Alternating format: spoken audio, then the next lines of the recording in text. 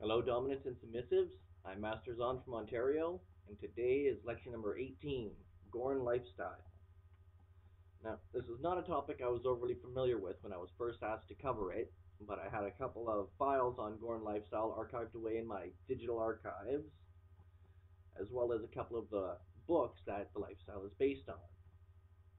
Gorean Lifestyle is based on a series of books by John Norman and is about strong, dominant men.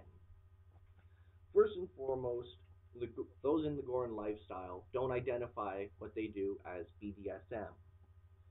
Though they're still part of the kink and fetish subculture and community, they're still separate. One key difference is that those in the Gorean lifestyle reject the idea of a scene. They engage in 24 7 dominant submission, power exchange, and total power exchange dynamics the sub is still called a slave, the dominant is still called master, but it's an ongoing life. From a BDSM point of view, it would be like one scene that never ends. Those in a 24 7 dynamic BDSM would probably be able to understand it easier than those not in a 24 7 dynamic.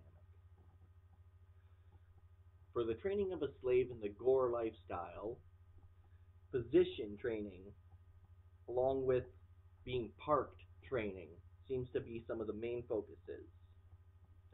Many of the poses used in the Gore lifestyle are also used in BDSM, like the inspection pose, position 1, or table, or any actual other number of them. The Gore lifestyle is also more demanding and often stricter than a normal BDSM dynamic with less wiggle room for the submissive. With rejecting the idea of a scene, you don't find casual or bedroom dynamics in the Gore lifestyle. That's just not what it's about. It's a more pure type of dominant submissive master slave dynamic. Now, it's not that those in the BDSM community and dynamics can't approach a type of Gorean lifestyle or even have theirs be considered a Gorean lifestyle. It's just not the standard in the BDSM dynamic. In the Gore lifestyle, also, slaves refer to all free men and women as master and mistress, although they only serve one master. While the slave is often considered property of the master, just like in the BDSM dynamic, love, care, and affection are still part of the whole lifestyle.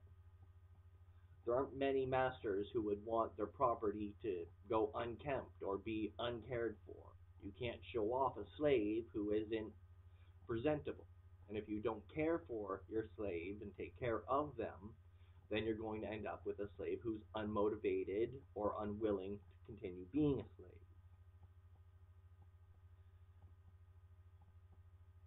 Just like in BDSM, the slaves are still recognized as people with needs and wants and desires, lives of their own, while many of the females who are slaves in the Gorean lifestyle would be able to do- dedicate themselves to a 24 7 lifestyle. Most of them still have lives and are let to go about and do their work and come home and then can pick up the dynamic from there. Another difference for the slaves from BDSM to Gorean lifestyle is that the slaves in the Gorean lifestyle don't use personal pronouns. I, me, mine. They say things like this girl, this slave.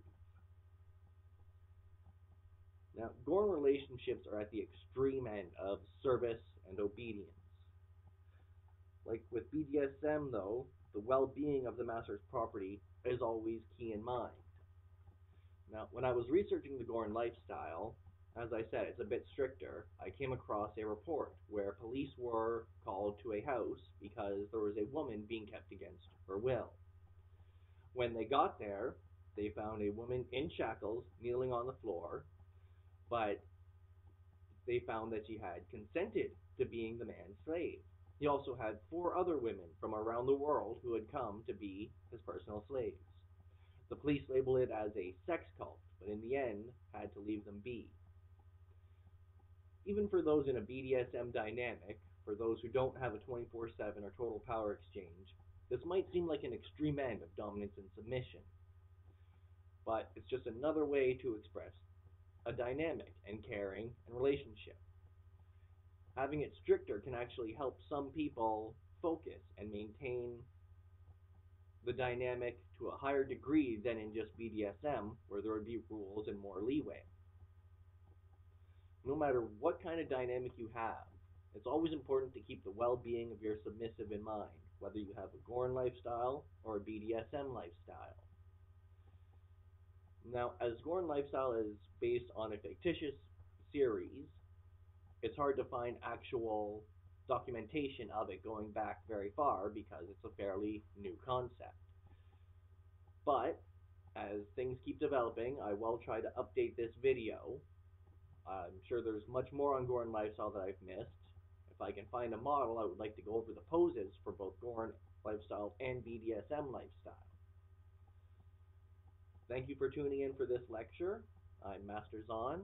Please join me for the next.